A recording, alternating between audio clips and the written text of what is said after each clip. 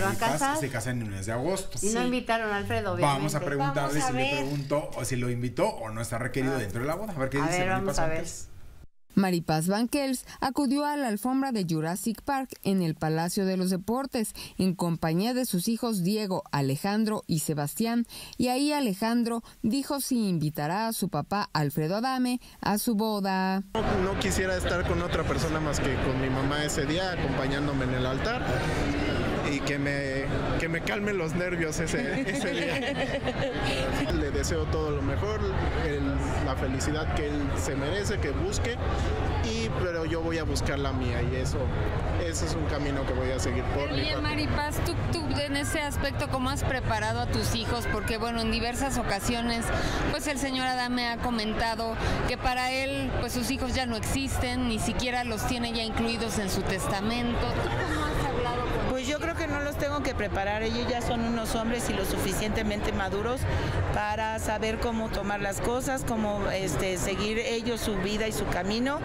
Son momentos fuertes, son momentos que pues les tocó vivir y tienes que aprender. En, en la vida siempre te vas a topar con cosas desagradables, malas, feas y tienes que aprender a salir adelante. Señora, ¿ya perdonó usted? Digo, al final dentro de todo ya perdonó y dejó de ir esos malos ratos.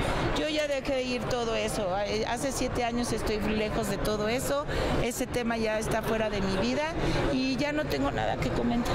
Por su parte, así reaccionó Sebastián al comentarle que el actor al parecer está estrenando romance. Como hijos les da gusto el que su papá, porque digo, acaba de publicar unas fotos con una nueva pareja al parecer, les da gusto como hijos pues que su papá rehaga su vida que sea feliz. Si es feliz y le, gusta, que sea feliz. Para Grupo Fórmula, Benice Ortiz.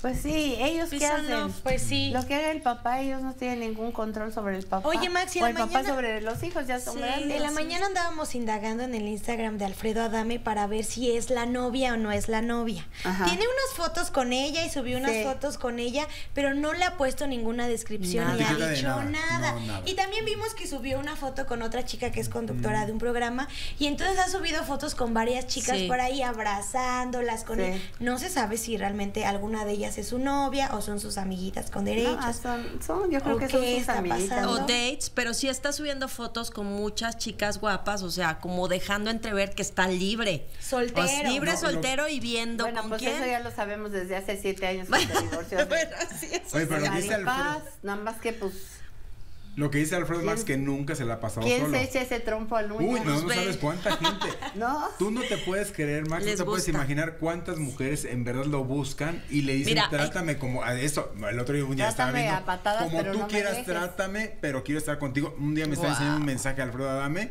diciendo cómo, hay cuántas personas, y era como tres las de las que leí mensaje que le decían quiero verte, te extraño, y más, o sea, tiene sus canitas al aire, ah, no es de que ande solo. Ahora te voy a decir, mira, ahí están subiendo, estamos viendo en pantalla fotos, pero casi todas tienen eh, cosas muy similares a Magali Chávez. Melena, rubias, grandes, grandes, ¿Te refieres a Magali Chávez? Ajá, Magali, a Magali. Pero ve, se parecen mucho. Sí, o sea, sí tienen un perfil, ajá, entonces él tiene prototipo. Por eso, pero él todavía tiene un prototipo. Un patrón, dirían por ahí. Repites patrones ese tipo de mujer. Claro. Sí.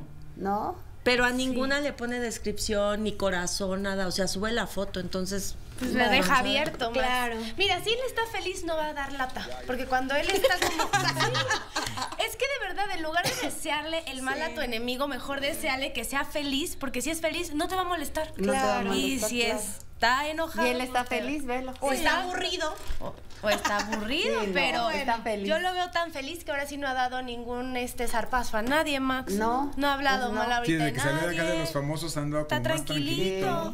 Le sirvió estar encerrado. Oye, Max, y también tenemos a José Manuel Figueroa. Al siguiente corte vamos a platicar con Poncho de Nigris para ver por qué perdió tantos millones por culpa de su esposa. Pero mientras, vamos con José Manuel.